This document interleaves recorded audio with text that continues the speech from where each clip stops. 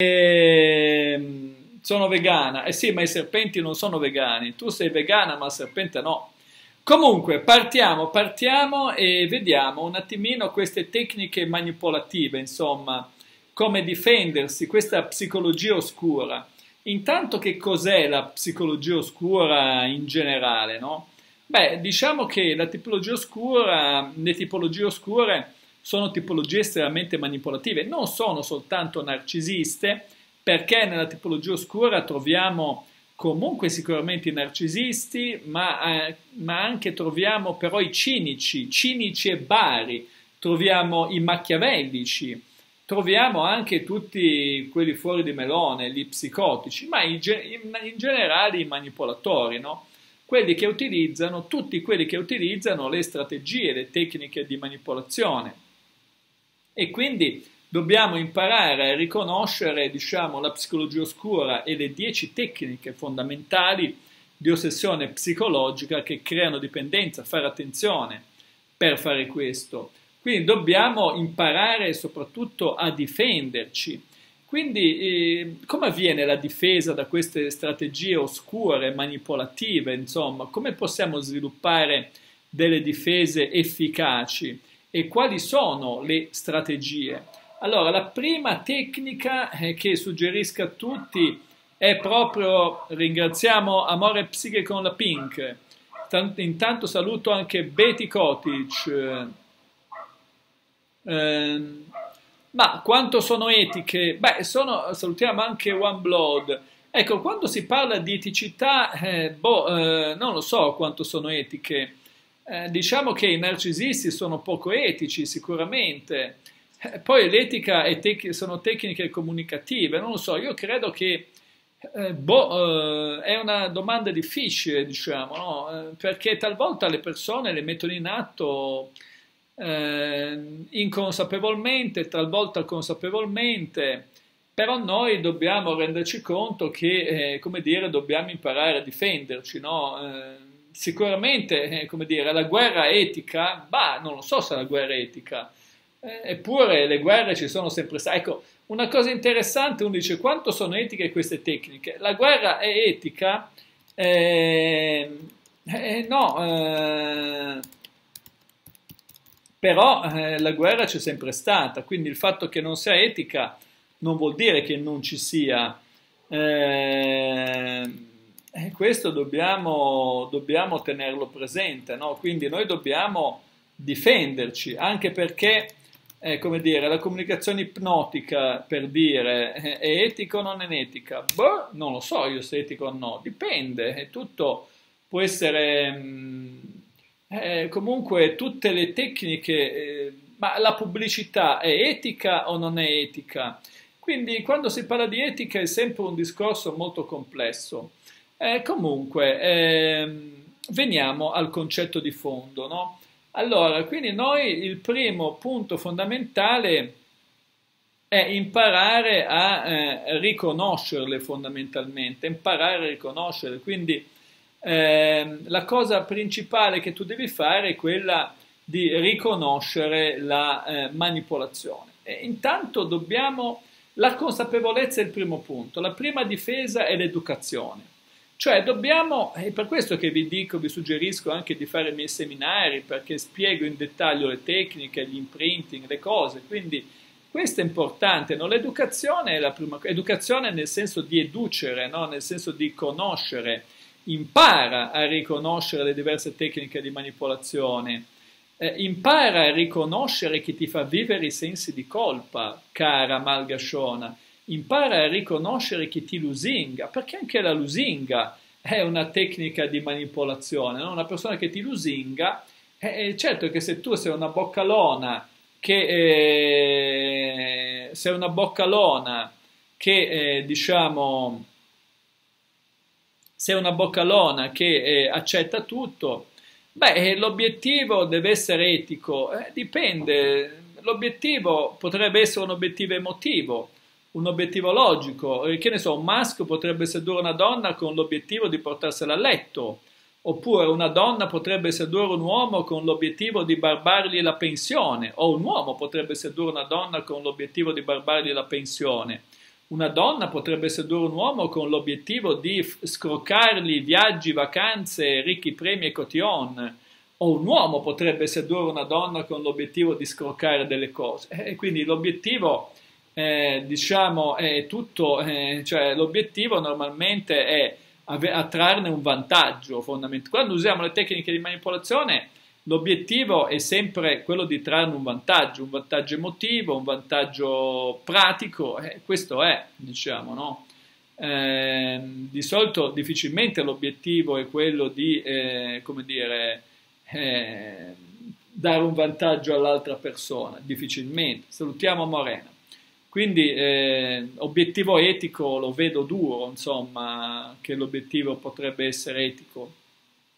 Comunque, in generale, eh, la cosa fondamentale da fare è la consapevolezza.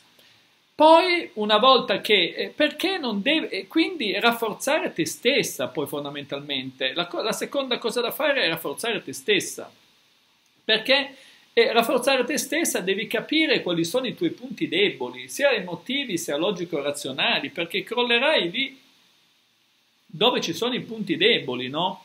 È, come dire, è, lo stesso discorso della guerra fondamentalmente, no? Adesso che c'è la guerra, praticamente una guerra in trincea no? tra Russia e Ucraina, è lì eh, appena uno dei due individua un punto debole dell'altra persona, attacca, perché cioè, il discorso che queste, queste strategie, diciamo, eh, queste strategie si manifestano, eh, queste strategie si manifestano quando vogliamo, eh, come dire, eh, quando una persona ha dei punti deboli, perché ad esempio eh, se tu vuoi manipolare un Buddha praticamente è impossibile, una persona forte, eh, perché uno dice, eh, vabbè, ma si approfitta dei tuoi punti deboli, no? Eh, beh, certo, non è che si approfitta dei punti forti, ma eh, pensate alle strategie della guerra, no? Eh, non è che uno in guerra attacca il nemico dove il nemico è più forte, cerca di aggirare le difese. Eh, non so, quello che hanno fatto i tedeschi nella seconda guerra mondiale, ad esempio con la linea Maginot, i francesi hanno fatto questa linea Maginot fortissima, fortificata, che difendeva i loro confini e i tedeschi cosa hanno fatto? Hanno invaso il Belgio e sono penetrati in Francia dal Belgio dove non c'era nessuna difesa, mentre i francesi avevano difeso con questa linea Maginot fortissima eh, tutti i confini diciamo, tra Francia e Germania e salutiamo Daniela e se lo sono presi in quel posto praticamente se lo sono presi in quel posto perché i tedeschi li hanno attaccati lì dove c'era il punto debole, che era il confine con il Belgio, perché loro non pensavano, questi in 448 hanno invaso il Belgio e poi sono entrati in Francia dal Belgio e hanno trovato le vie libere. E, ehm, e, questo, e questo, è un punto, è un punto fondamentale, no? anche un manipolatore, anche, anche diciamo un, come possiamo dire, anche un manipolatore, anche una persona, come possiamo dire, narcisista, anche una persona maligna, anche una persona malvagia, ma anche una persona cinica, anche una persona, come dire, machiavellica ti attaccherà nei tuoi punti deboli. Non bisogna mai attaccare nei punti forti la persona. Eh. Quindi, se una persona è suscettibile alla lusinga, eh, ti farà delle lusinghe. Se una persona è suscettibile al senso di colpa, ti farà il senso di colpa. Una caratteristica fondamentale però di tutte queste tecniche è la negazione della realtà. Quando sei consapevole, diciamo, eh, di queste tattiche, starai attento al fatto che non venga, che non venga negata la realtà. E il primo punto fondamentale è mantenere la calma. Cioè le persone manipolative ti innescano emozioni. Quindi se vuoi sedurre e manipolare qualcuno, devi produrgli delle emozioni, perché altrimenti da un punto di vista logico-razionale non seduci nessuno, perché per qualunque persona 2 più 2 fa 4 e tutto quello che 2 più 2 gli viene proposto come diverso da 4 lo piglia e lo butta nel cestino, mentre invece in preda all'emotività eh, potresti anche pensare, abbiamo qua presente una eh, ritualista, che 2 più 2 sia un rituale per togliere il malocchio, perché noi possiamo pensare di tutto, no? quindi di fatto eh, la parte emotiva è quella che ci fa sognare, no? quindi fai attenzione a chi ti produce troppe emozioni, cioè le tue emozioni devi saperle gestire. Questo fa parte delle difese fondamentalmente, quindi devi mantenere la calma. Ovviamente quando è che è difficile, eh, diciamo così, lasciarsi sopraffare delle emozioni? Se tu hai delle insicurezze, eh, perché le insicurezze sono eh, dei, eh, dire, dei tarli interni, no? Se tu, ad esempio, vai alla ricerca del grande amore, supponiamo una donna che vada alla ricerca del grande amore, che non vede l'ora di trovare il grande amore, perché magari a sua madre che gli dice, beh, certo che tu hai già 40 anni, hai già 50 anni e sei ancora zitella, perché poi le madri non vi dicono, o i padri, non vi dicono sei ancora single, cara cara eh, donna, cara figlia, non ti dicono sei single, eh brava sei single, no, ti diranno sei zitella, sei zitella, è il tuo desiderio, è il tuo vizio che ti farà cadere, diceva anche il grande De Gregori, no? ogni uomo ha un vizio e anche una donna che lo farà cadere, nella, e questa è la verità, è, è, è la verità che ha fatto prendere, diciamo, il bandito, eh, che adesso non mi ricordo come si chiama, eh, porca miseria, c'è un vuoto mentale, eh, Sante il bandito, Sante il bandito, che aveva il punto debole di seguire il campione, no? Girardengo il campione, era un appassionato di ciclismo, che era il suo punto debole, e l'hanno arrestato in un arrivo volante.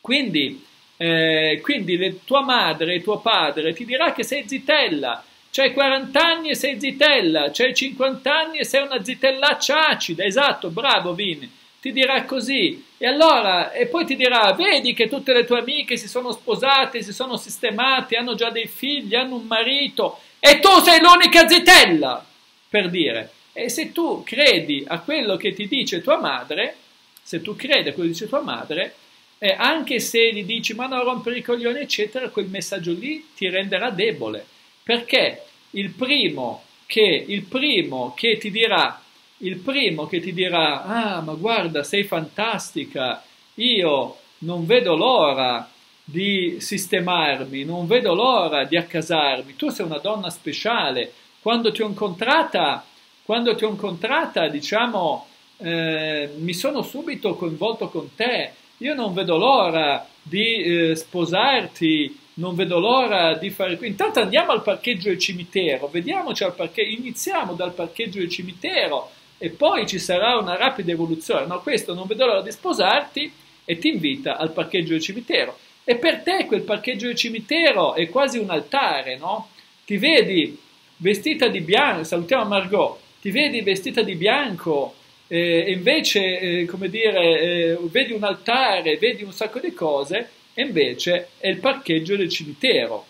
E quindi e tu gli dici, insomma, vedi di essere in chiesa e gli dici questo mi sta, eh, pensi che sia il prete che ti mette l'ostia in bocca, pensi che sia il prete che ti mette l'ostia in bocca e poi ti trovi qualcos'altro in bocca, diciamo, che proprio definirlo ostia non si potrebbe, eh, però perché non vorrei essere blasfemo, quindi non vorrei essere tacciato di blasfemia, però diciamo che la cosa che ti trovi in bocca, diciamo, non è l'ostia, anche se tu, anche se tu hai questa visione angelica dell'ostia, no? E pensi la, la comunione, pensi il matrimonio, eccetera, eccetera. E, e, quindi poi una volta che sei andato al parcheggio del cimitero ti dice, sai che c'è? Arrivederci, grazie. Come dire, finita la festa, gabbato santo, arrivederci, grazie e tu resti delusa, ehi tu delusa, come diceva Vasco Rossi, no?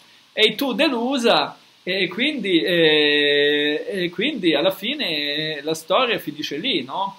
E, e, tu torni a essere zitella e tua madre ti dirà, ecco vedi, tu devi avere qualche difetto, ti dirà tua madre, hai preso da tuo padre e tuo padre ti dirà, hai preso da tua madre che ha trovato un fesso come me che se l'è sposata. Ma adesso gli uomini sono tutti più furbi, non troverai un altro, tu sei come tua madre, solo che tua madre ha trovato me che sono un coglione, che l'ha sposata, ma ero l'unico coglione, si vede, perché adesso altri uomini che sposeranno una cogliona come te non ci sono. E quindi tuo padre praticamente, dandoti della cogliona, eh, per dire no, ti farà ancora, abbasserà ancora di più la tua disistima. Insomma, tra madre e padre, insomma, tua madre dirà che sei come suo padre, come tuo padre, tuo padre dirà che sei come tua madre, insomma, tu ti becchi, ti becchi praticamente, ti becchi praticamente, come possiamo dire, i, eh, i difetti e i vizi comportamentali sia di tuo padre che di tua madre e questo è, vieni, ti vieni, diciamo... Quindi alla fine quello è il tuo punto debole. Qual era il punto debole di tutta questa pappardella che ho fatto? Il bisogno di sposarsi. Allora, quindi la regola fondamentale qual è? La regola fondamentale, l'hai presa anche al parcheggio del cimitero, brava. La regola fondamentale qual è? Non avere bisogni. La regola fondamentale è non avere bisogni. Eh, né bisogni emotivi, né bisogni economici, né bisogni di, na- di nessuna natura. E se c'hai qualche bisogno, sbolognatelo da solo. Non devi sperare che un'altra persona risolva i tuoi bisogni. Beh, eh, non è detto, cara Venus, che solo tuo padre e tua madre potrebbero essere tutti duplicati. Ecco, questo, la domanda che ha fatto Venus, che normalmente fa domande, no scherzo, scherzo che poi mi fa mangiare da serpente, Stavo per fare la battuta a Venus, ma poi mi fa mangiare da serpente. la, la, battuta era, cara Venus, che di solito fa domande stupide, stavolta ha fatto una domanda intelligente. Ma, ma, ma scherzo ovviamente, scherzo. Ma tornando al discorso principale, eh, non è solo tuo madre e tuo padre, tutti i loro duplicati. Perché noi cara Venus, abbiamo tutti, abbiamo tutti i duplicati. E mi vede già troppo. Abbiamo già tutti, abbiamo tutti i duplicati praticamente. Non abbiamo solo nostro padre e nostra madre. Cioè, anzi, ti dirò di più, cara Venus, tu, tuo padre e tua madre li salverai sempre.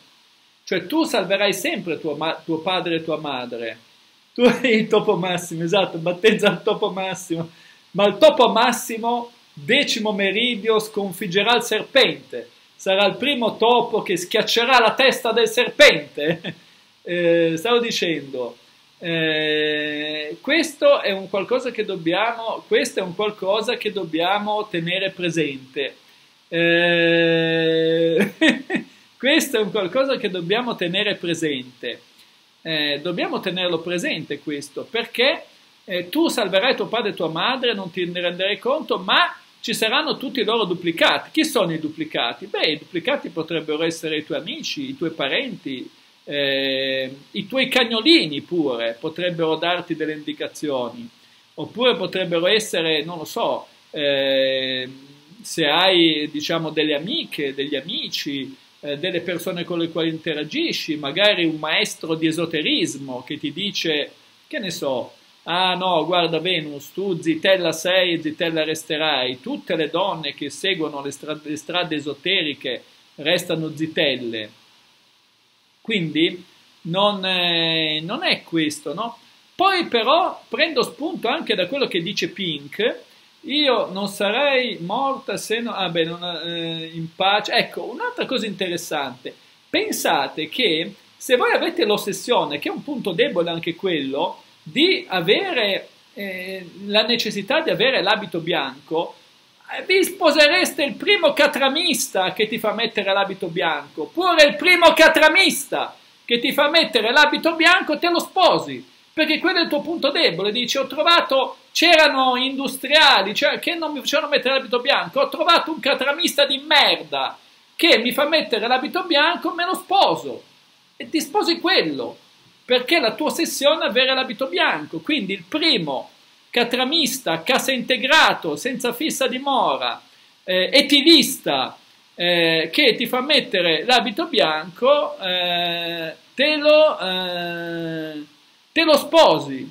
E questo è un altro punto debole. Quindi il nostro punto debole è, è quello, è la nostra lacuna. E, e, quindi noi dobbiamo riconoscere quelli che sono i nostri punti deboli. Questo vuol dire consapevolezza. Consapevolezza non vuol dire sono consapevole se oggi piove o se oggi c'è il sole. Non vuol dire questo, vuol dire che siamo consapevoli, eh, siamo consapevoli di quelli, dobbiamo essere consapevoli di quelli che sono i nostri poteri. E state attenti che ognuno di noi ce n'ha uno di punto debole, perché l'imprinting lo viviamo tutti, quindi ognuno di noi ha un punto debole ho due matrimoni alle spalle, ah brava Venus, due matrimoni alle spalle, porca miseria, due matrimoni, accidenti, qui non si è fatta mancare niente. E, ehm, quindi questo è un, punto, è un punto da tenere presente, no? un punto fondamentale. Quindi la prima cosa è mantenere la calma, riconoscere i nostri punti. Consapevolezza significa quello, riconosci i tuoi punti deboli, mantieni la calma e poi una cosa fondamentale è valuta quando incontri una persona se c'è assonanza tra quello che dice e quello che fa. Cioè devi valutare se c'è assonanza tra quello che dice e quello che fa. Questa è la regola, ma devi farlo con la mente, con la mente, eh, come dire, con la mente fredda, no? Se uno ti promette il Grand Hotel e poi ti porta al parcheggio il cimitero, beh, evidentemente non è tanto coerente tra quello che dice e quello che fa. Se uno ti dice non ti preoccupare, lascerò, mo- lascerò mia moglie, eh, se uno ti dice non ti preoccupare, lascerò mia moglie e poi la moglie non la lascia, eh, e poi la moglie non la lascia, eh, tieni presente che in qualche modo, eh, come possiamo dire, eh, è morto, ah il primo è morto, eh, porca miseria, mi viene da grattare la testa. C'era anche, come si chiamava, Barba Blu, che gli morivano sempre le mogli, non si capiva come mai, no? Vi ricordate la storia di Barba Blu, no? Che cioè, sto qua gli morivano sempre le mogli, una avvelenata, una in un modo, una nell'altro, gli schiattavano sempre le mogli, e a Barba Blu anche morivano sempre le mogli, rimaneva sempre vedovo. E, ehm, e, quindi, e quindi, diciamo, questo è il concetto, è il concetto fondamentale. Eh, poi dobbiamo, dobbiamo tenere, tenere, presente questo punto no, fondamentale. Eh, quindi, eh, è morto era il primo. grande Venus, grande Venus. Comunque dobbiamo tenere presente un po' queste, queste cose, no? E se è il cimitero La Chaz di Parigi, beh, non lo so, potrebbe essere il cimitero di Parigi, potrebbe essere il cimitero di qualcos'altro, però alla fine è sempre un cimitero, eh. Ehm, quindi detto questo, ma è vero Venus che, no, davvero sei rimasta vedova Venus o era una battuta? Che io non lo so mica, eh se sei rimasta vedova sul serio sta, o una battuta. Comunque, dai, non si sente? Com'è che non si sente? Che si sente o non si sente? Comunque, ehm, quindi poi devi fidarti anche del tuo intuito, no? Spesso il nostro intuito ci dice quando qualcosa non va. Se senti che qualcosa non va, che non è giusto, eh, c'è qualcuno che sta cercando di manipolarti. Ma cerchiamo un po' eh, quindi di Un'altra cosa interessante sono osservare i cambiamenti di comportamento. Se noti nel tuo comportamento, nella tua autostima, nei tuoi pensieri che c'è qualcosa che sta cambiando, potrebbe esserci una manipolazione in atto. Come dicevo, analizza le parole e analizza le azioni. Questo è il punto fondamentale. Attenzione alle lusinghe eccessive. Complimenti eccessivi potrebbero essere un segno di manipolazione. Quindi vediamo eh, un attimino, vediamo, una, no vabbè ma eh, non sente Christian perché è sordo, eh, sì Christian è sordo. Ah, ma ero molto giovane. Ah, ok, non sapevo Venus, non lo sapevo, davvero, non lo sapevo. Comunque, eh, quindi eh, dobbiamo, dobbiamo tenere, tenere un'altra cosa, quindi fondamentale, è quella proprio di renderci conto, quindi una volta che ci rendiamo conto della manipolazione dobbiamo difenderci. Come facciamo a difenderci? Poi vi spiegherò anche le tecniche. Il primo modo per difenderci è imparare a dire di no. Devi essere sicura di te stessa, dire di no. Quando qualcuno sta cercando di spingerti a fare qualcosa che non vuoi fare, di di no! e stabilisci dei limiti e dei confini sani nelle tue relazioni e mantienile. Non lasciare che gli altri superino i tuoi confini, devi crearti anche proprio da un punto di vista energetico una bolla, ciao degli anni, devi eh, crearti una bolla energetica, come direbbe la nostra Venus, no? una bolla energetica e tu devi sentirti protetta, devi dire di no. C'è chi dice no, diceva Vasco Rossi, impara a dire di no. Quando qualcuno ti vuole fare, fare qualcosa che tu non vuoi fare, devi dire di no, non devi temere a dire di no. Se uno mi dice vieni al, al parcheggio del cimitero, no. Vieni anche a me se mi dice Massimo fai quello, no. Massimo fai quell'altro, no. Massimo vorresti, no. cioè, no, impara a dire di no. Cioè, adesso non dico che, che per principio devi subito dire di no, però diciamo che poi ovviamente le persone vanno conosciute nel tempo, no?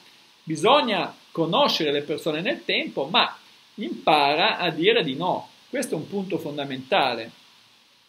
No è una parola che serve. Eh, prova a fare domande critiche, domande spiazzanti. Eh, fai domande che vanno a interrompere lo schema. Un'altra cosa fondamentale, ricordati sempre questo detto, la fretta è cattiva consigliera.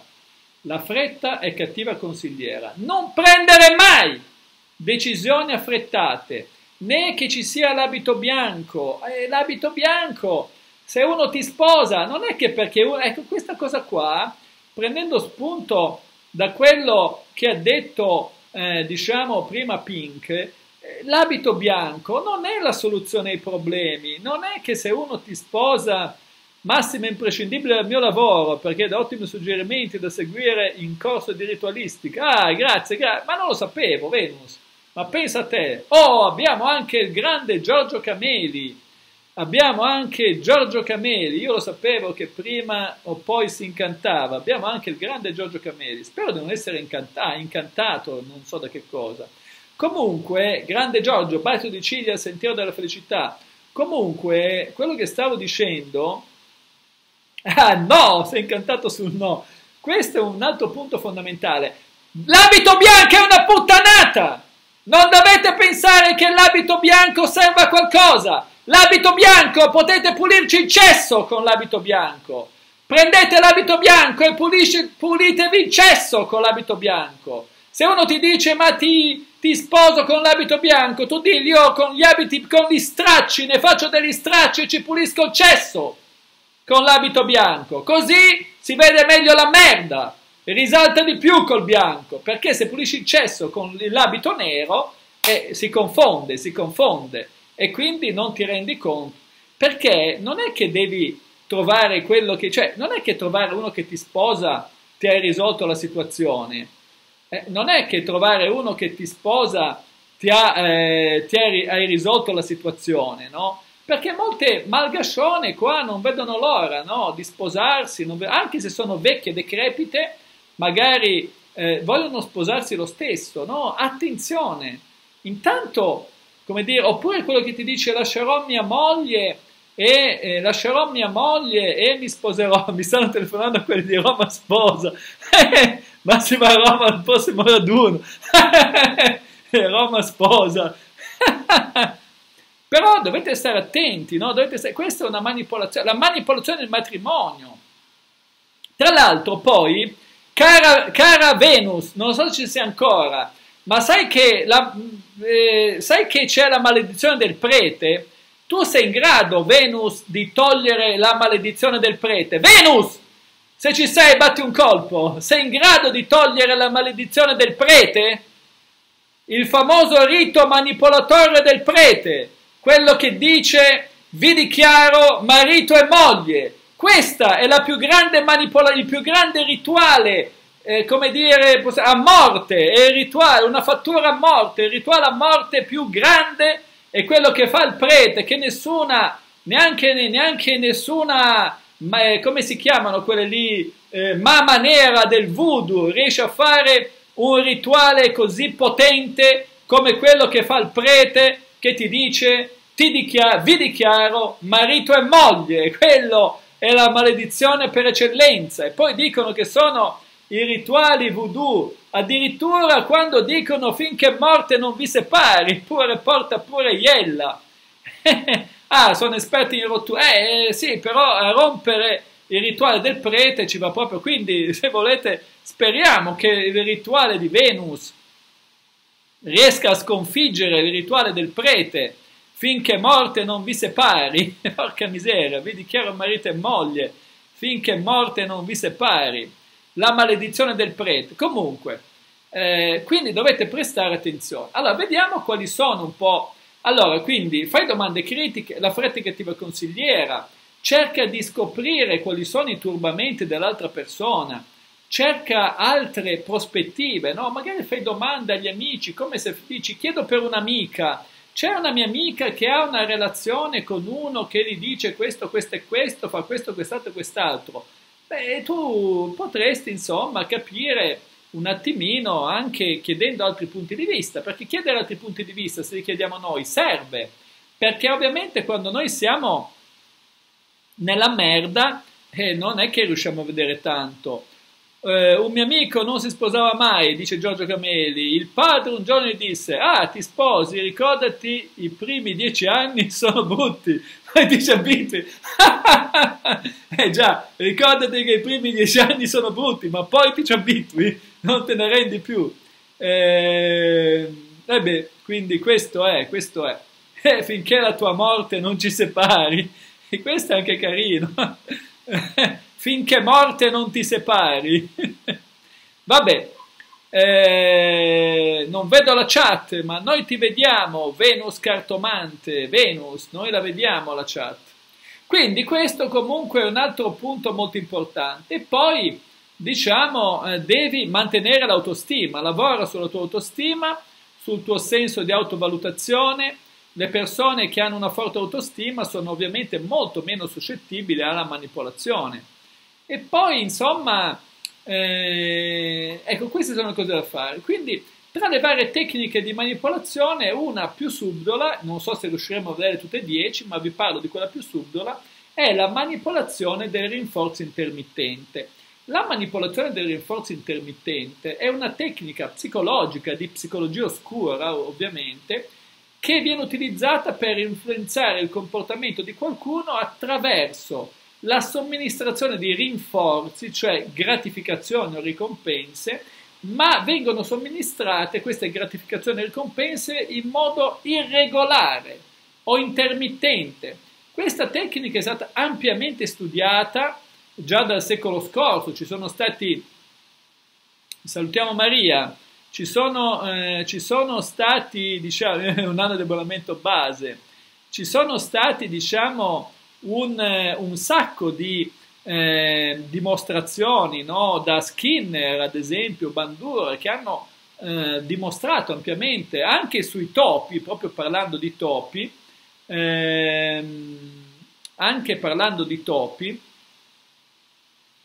Eh, quindi il concetto di fondo è che il rinforzo intermittente è particolarmente efficace, diciamo, Intanto è una tecnica che basa, diciamo, utilizzata per ottenere controllo sugli animali, sulle persone, insomma, spingendoli a compiere in modo ossessivo certe azioni o certi comportamenti. È molto efficace perché sfrutta una tendenza naturale umana a cercare la gratificazione logica e l'aspettativa delle ricompense. Poi io ho elaborato un'altra mia, salutiamo Arale, Un'altra mia tecnica manipolativa che è ancora più efficace della manipolazione intermittente, ma questa la spiego nei seminari, però dovete, se volete imparare questa un'evoluzione che ho elaborato recentemente, ho elaborato, devo dire che ho elaborato recentemente, quindi è una elaborazione del 2023, diciamo, che però eh, siccome una mia elaborazione è nata nel 2023, la voglio riservare a chi farà i seminari, no, non la dico nei seminari, nei seminari, chi farà i seminari e quindi chi farà l'abbonamento base, vi dirò questa evoluzione che prende spunto, diciamo, utilizza la tecnica della manipolazione intermittente, ma chi farà i seminari la seguirà, la,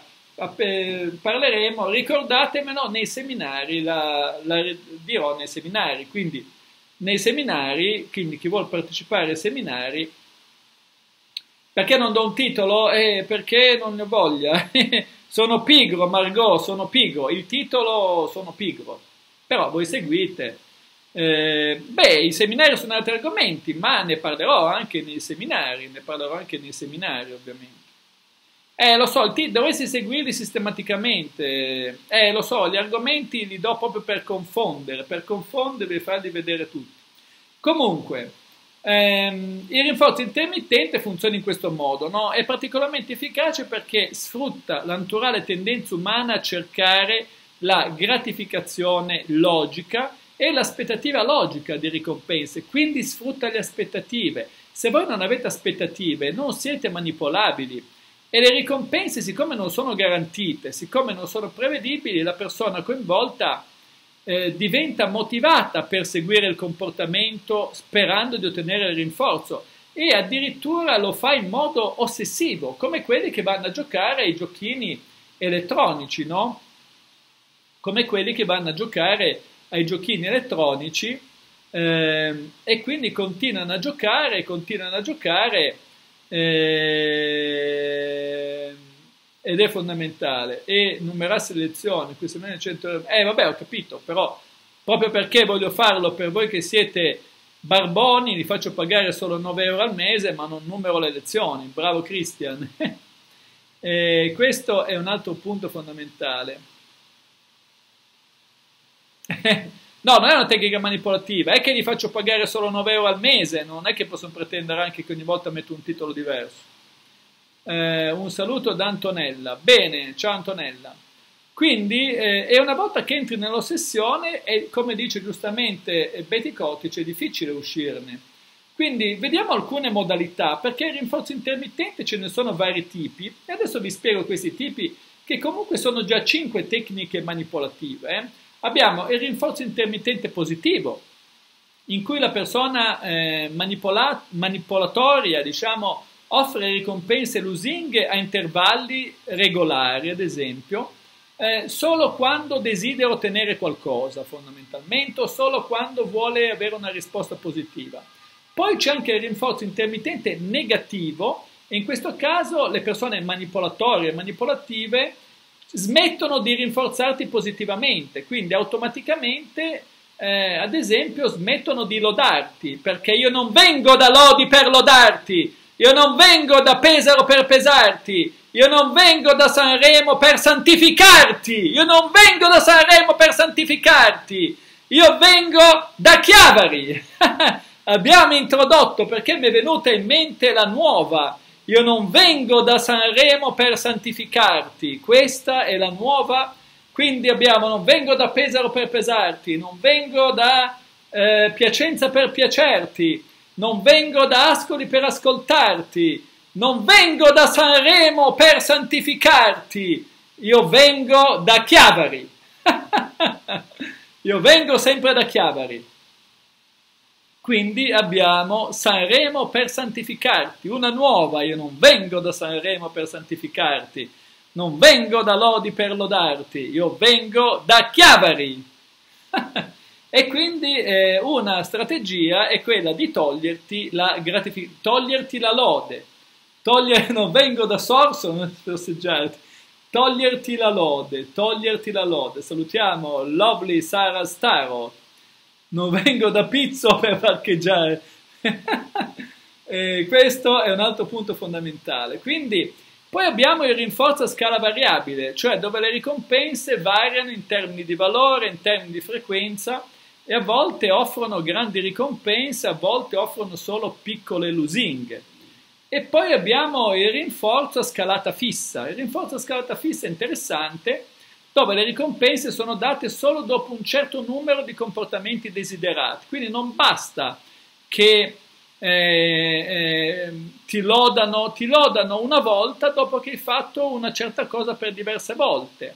E poi abbiamo il rinforzo casuale, dove invece le ricompense sono date senza un modello specifico in modo totalmente casuale. Quindi avete visto che anche con il rinforzo intermittente ci sono al suo interno cinque tecniche manipolative che sono fondamentali. Quindi tu devi analizzare, devi osservare i modelli comportamentali, devi prendere nota, devi analizzare le motivazioni, devi stabilire dei limiti sani, devi essere consapevole anche delle tue reazioni, devi saper manipolare e devi saper riconoscere le strategie degli altri e mettere un like al video se il video